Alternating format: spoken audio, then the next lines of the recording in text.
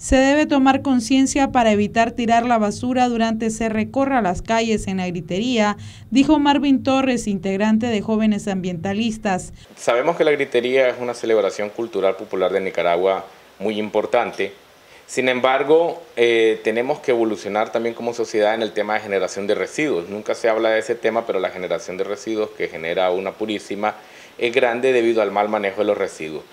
¿Qué se tiene que hacer en ese caso? Residuos, mal manejo desde el punto de vista personal, me refiero. Entonces, en ese caso, las personas que deseen ser parte de la actividad, siempre es recomendable, yo diría, que anden no boten la basura en la calle, que guarden, así como andan una bolsa con unas cosas, anden una bolsita para echar la basura, todo lo que van tomando, todo lo que va sobrando, y que por favor la depositen en su hogar al llegar para que sea debidamente transportada a los lugares correctos, ¿verdad?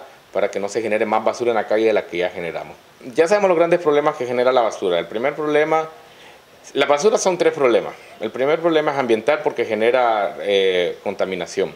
El segundo problema que genera es que la sociedad en sí, al ver todo con basura, con desorden, eso no crea un buen estado de ánimo tampoco. Hay muchos estudios que tienen que ver con el estado de ánimo, con la forma que las personas se conducen, con la forma que se ve la sociedad.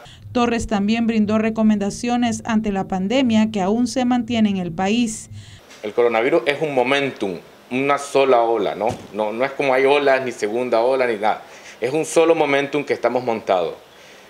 ¿Qué indica el momentum? La cantidad de pruebas que se haga al día, número que desconocemos en Nicaragua. Entonces, no es, no esperemos segunda ola ni esperemos un montón de cosas. Estamos teniendo casos de coronavirus no perceptibles o perceptibles, esos son otros 100 pesos y tiene que ver con la metodología de cómo se está calculando eso, que en el caso de Nicaragua ya sabemos que es desconocido.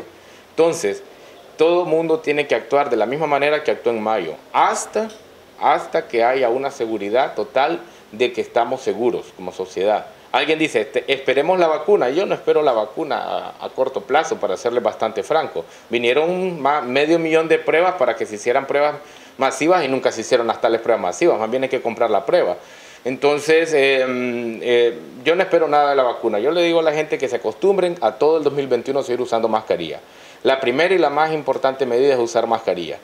Y la segunda, pues obviamente la distancia social y la tercera, mantener el aseo Para Noticias 12, Castalia Zapata.